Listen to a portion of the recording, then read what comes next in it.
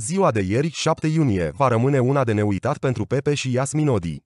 Cei doi au ajuns la altar pentru a-și uni destinele în fața lui Dumnezeu, iar după aceea a urmat și petrecerea. Artistul a mărturisit în repetate rânduri că își dorește o nuntă atipică, cu un concept unic.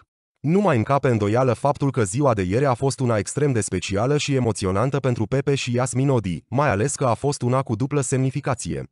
Asta pentru că cei doi au ales să se căsătorească religios chiar în ziua în care fiul lor a împlinit vârsta de 2 ani. Artistul și soția s-au primit o mulțime de mesaje atât din partea fanilor, cât și a prietenilor și rudelor. Printre ei s-a numărat și Ibrahim Ibru, fostul soț al Ralucăi Pastramă.